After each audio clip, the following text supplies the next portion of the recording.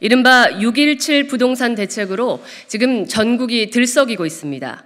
특히 저희 지역인 송파에서는 사유재산 침해 논란, 거주 이전 자유의 제한 논란과 더불어서 과중한 전세금 부담 전가 우려로 인한 주민들의 불안과 불만이 고조되고 있습니다.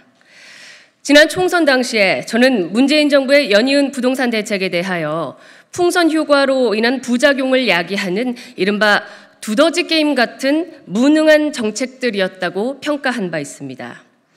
이번 대책 또한 발표되자마자 큰 혼란을 불러일으키고 있기 때문에 저는 오는 6월 25일 목요일에 주요 전문가들과 함께 이번 21번째 대책에 대한 정확한 진단을 해보기 위해서 긴급 현안 토론을 준비하였습니다. 부동산 투기 억제라는 정부의 목적을 비난하기 위한 자리가 아니라 이번 대책의 본질이 무엇인지 제대로 알아보기 위한 그런 자리입니다. 때문에 정책의 주체인 국토교통부에 누구든지 실무자, 어느 분이시든지 토론에 참여해서 이번 대책을 알기 쉽게 국민께 설명해 달라는 요청을 저희 의원실을 통해 수차례 했으나 거부 의사를 밝혀왔습니다. 매우 안타까운 일입니다. 오늘 정부가 뒤늦게 실수요자 보호 대책을 마련 중이라는 보도도 연이어 나오고 있습니다.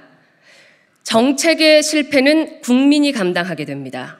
이번 6.17 대책이 심각한 부작용을 감안하지 않은 설익은 급조책이 아니라면 정부 당국은 지금이라도 입장을 바꿔서 이번 토론회에 당당하게 참여해 주실 것을 다시 한번 정중하게 요청드립니다.